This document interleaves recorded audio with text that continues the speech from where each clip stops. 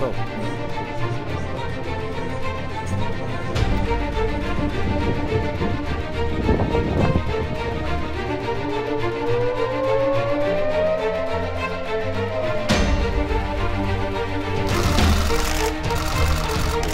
regard to policy.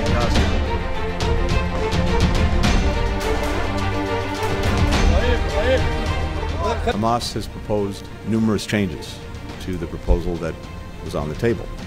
We discussed those changes last night with Egyptian colleagues and today with the Prime Minister. Some of the changes are workable, some are not.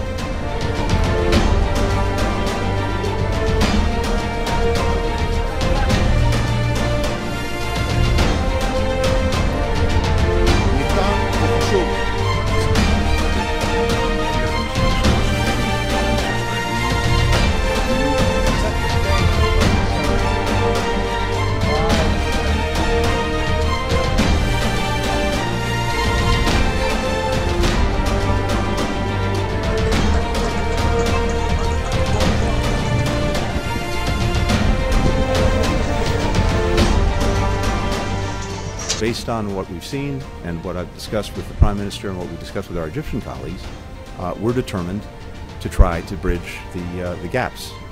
And I believe those gaps are bridgeable. Doesn't mean they will be bridged because, again, it ultimately depends on people saying yes.